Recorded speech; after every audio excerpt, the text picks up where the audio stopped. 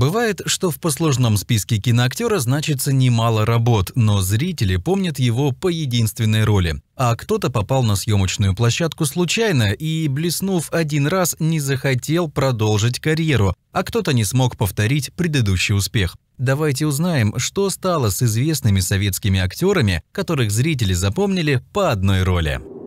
Игорь Киблушек в 1982 году режиссер Светлана Дружинина взялась за экранизацию опереты Кальмана «Принцесса цирка». На главную роль она планировала пригласить знаменитого Мариса Лиепу, для чего и приехала в Большой театр. И тут произошла поистине чудесная история. Зайдя в антракте в буфет, Дружинина увидела красивого молодого человека и тут же поняла, что мистера Икса должен играть не Лиепа, а именно он. Игорь Киблушек, гражданин Чехословакии, в то время учился в МГИМО и в будущем планировал стать дипломатом. Предложение сняться в кино он поначалу всерьез не воспринял, но Дружинина умела убеждать. Чтобы Игорь не отстал в учебе, сцены с его участием снимали поздно вечером. Студенту было нелегко, но образ таинственного аристократа удался ему как нельзя лучше. Правда, после выхода картины Игорю пришлось перебраться из общежития на съемную квартиру, так как его повсюду атаковали поклонницы. Игорь Киблушек, на днях отметивший свое 65-летие, живет в Праге. После распада Чехословакии он оставил карьеру дипломата и занялся бизнесом. В кино больше не снимался, несмотря на многочисленные предложения. Киблушек счастлив во втором браке, имеет троих сыновей. Елена Метелкина Успешная манекенщица Елена Метелкина попала в кино благодаря своей неземной внешности. В самом начале 80-х режиссер Ричард Викторов искал девушку, которая смогла бы исполнить роль инопланетянки Нии в его новой фантастической картине «Через тернии к звездам». Ни одна из профессиональных актрис не годилась, лицо бесполой представительницы внеземной цивилизации должно было быть совершенно новым и необычным. После выхода картины на Елену обрушилась слава, но, увы, других интересных ролей в ее жизни не случилось. Амплуа инопланетянки приклеилась к Метелкиной навсегда. Зрителям запомнилось разве что ее Полина в «Гости из будущего». Разочаровавшись, Елена пробовала себя в разных сферах деятельности, но нигде не задерживалась надолго. Несколько лет назад она вспомнила о давно заброшенной профессии модели и согласилась стать лицом бренда одежды для женщин элегантного возраста. Сегодня Елена Метелкина, которой в октябре исполнится 70, работает в церковной лавке, поет в хоре и изредка появляется на экране. Замужем она побывала лишь один раз и крайне неудачно. От брака у нее остался сын.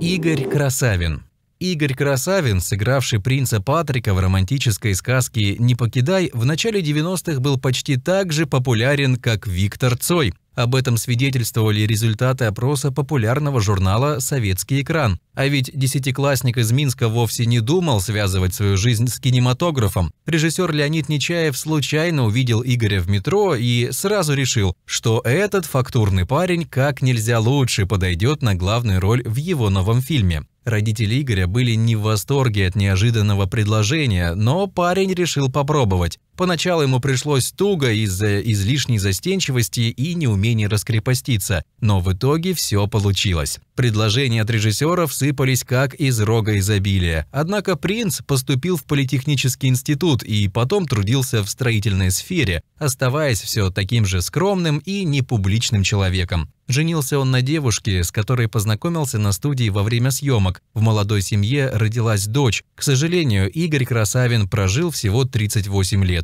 Умер он от аневризмы, пролежав в коме несколько дней.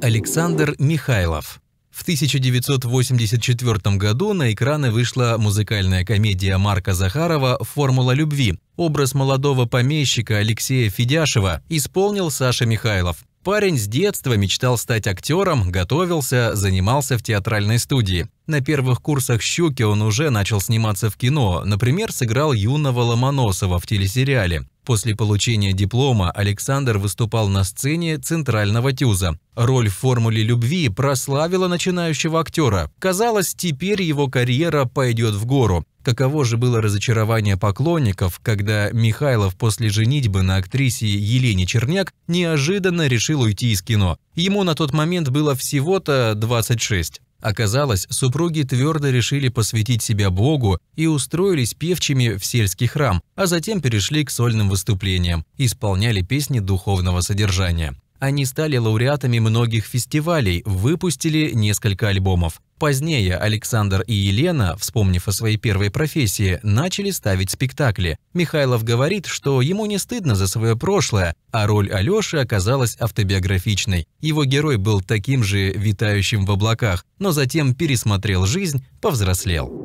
Павел Луспекаев Павел Луспекаев родился в 1927 году на Дону. Совсем юным он ушел на фронт, был ранен, отморозил ноги. После войны Луспекаев окончил училище имени Щепкина, работал в разных театрах, но в итоге остановился на ленинградском БДТ. В середине 50-х актер появился на экране, правда, роли ему доставались незначительные. А дальше дали о себе знать отмороженные на фронте ноги. Пришлось ампутировать сначала пальцы, а затем и стопы. Став инвалидом, Павел не мог даже предположить, что главная его роль еще впереди. В 1968-м режиссер Владимир Мотыль предложил Луспекаеву сыграть таможенника Верещагина в новой картине «Белое солнце пустыни». Поначалу Мотыль планировал снять лишь пару сцен с Верещагиным, но Луспекаев играл так восхитительно, что режиссер предоставил ему возможность импровизировать в волю. Павел Борисович наотрез отказался от костылей и изобрел специальные вставки в сапоги, позволявшие кое-как ходить.